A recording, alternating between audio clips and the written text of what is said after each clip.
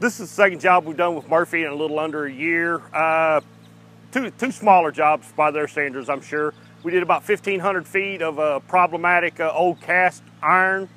We went from six inch to eight inch. Uh, the job we're doing this year, we're doing a total of about 2,000 feet, I believe, maybe a little more than that.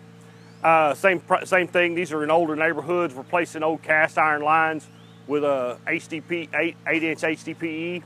And uh, uh, been going great, man. These are problematic lines. Uh, these are areas where we do a lot of main breaks, a lot of issues, uh, some quality water, uh, some quality control issues because these are older pipes. And uh, like I said, they're out here and they're knocking it out for us. It's, it's incredible. And I, like I was just explaining to him, we did a street down. Uh, the first street they did in this sec in this this project was a street called Sapling. Uh, if we open cut it, if everything went really well and and smooth, we would probably it would probably take us about a month to start to finish. I think they did it in a little over four days.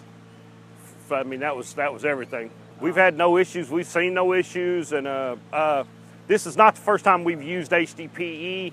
Uh, it's the first time we've pipe bursted in, but we've never had any issues with HDPE. It's, it's just incredible. Like I said, it, it, took them like three or four days to do that other job. Minimal damage to the surroundings. Uh, their cleanup has just been outstanding.